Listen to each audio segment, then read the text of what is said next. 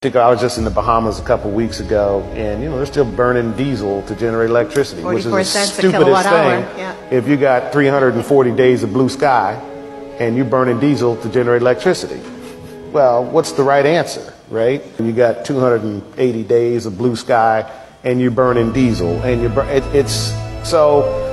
The reason they burn diesel because the oil companies went in and erected the facilities, and here's what it's going to do, and they controlled them.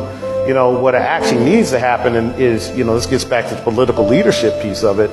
Is in those economies, you know, you need to understand why am I paying, you know, billion, two, you know, 38 percent of my GDP in energy generation costs to people who don't live here right? I mean, it's just basic, it's stupid. Thinking about this, I'd be moving down there right now saying, hey, listen, let's generate our own electricity, right? I mean, it's smart, I, and that's what I'd go do.